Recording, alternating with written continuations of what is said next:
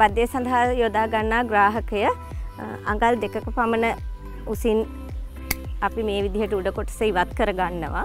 ශේත්‍රයේදී අපි රැගෙනෙන අනුජ කොටස දෙපැත කපා ඉවත් කරලා අපි බද්ධය සඳහා තෝරා ගන්නවා.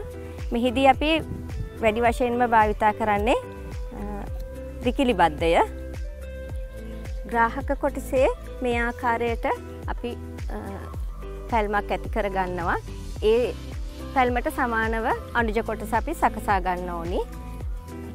සකසාගත් ග්‍රාහක කොටස සහ අනුජ කොටස මේ ආකාරයෙන් තැන්පත් කර බද්ධ පටිවලින් පහළ සිට ඉහළට වෙළුමක් යොදා ගන්න ඕනි.